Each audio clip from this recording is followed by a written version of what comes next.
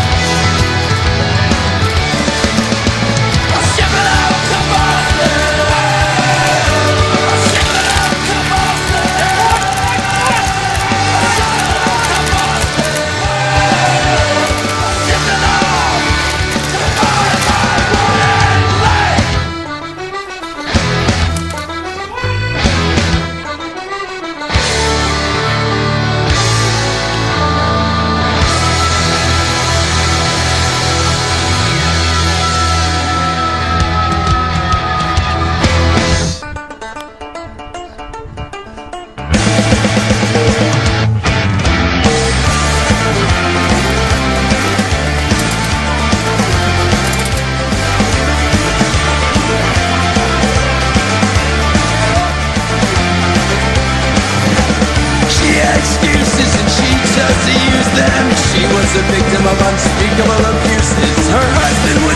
your baby. Pretend to your ride. You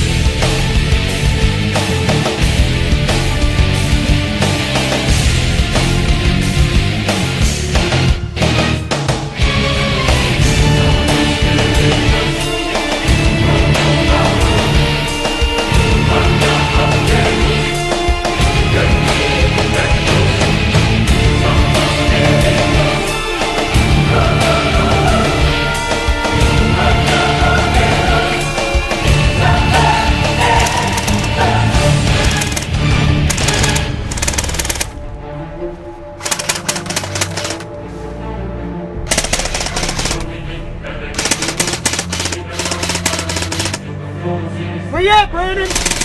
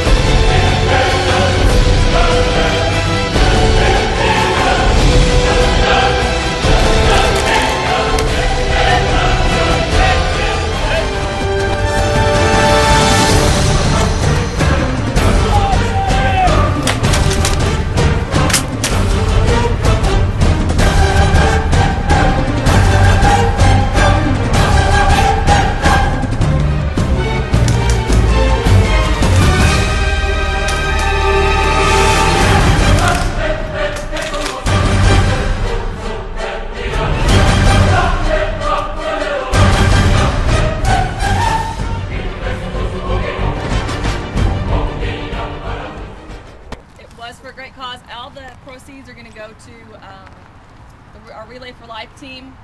Um, this year we've raised over $3,000. Thanks to you guys, we have probably hit 4,000 now, right? So we've now added um, So once again, thanks especially you guys for driving all the way out. Hopefully we can do this again sometime. Absolutely.